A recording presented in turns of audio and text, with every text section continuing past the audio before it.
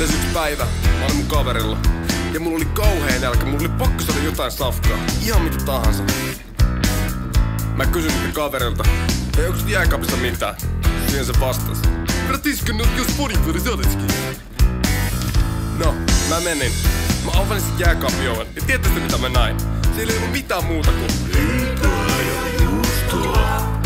Siinä mä sen mietin. Kuka vittu pitää leipää jääkaapissa? Ja saatana emmentaalia.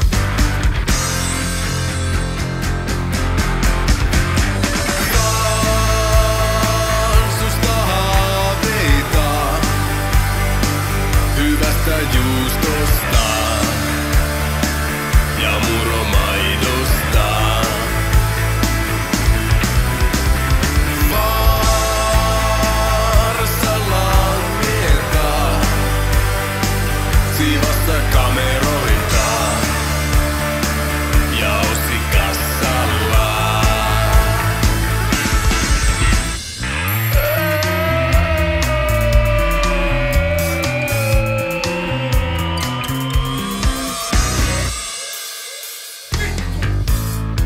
Tää juusto maksaa 5 euroa, meillä on vaan 5,50.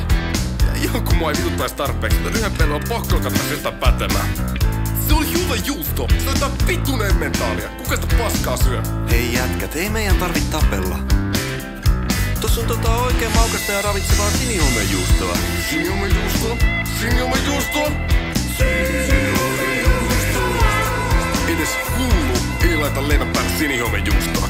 Ettekö te ymmärrä, tässä ei ole kyse pelkästä juustosta!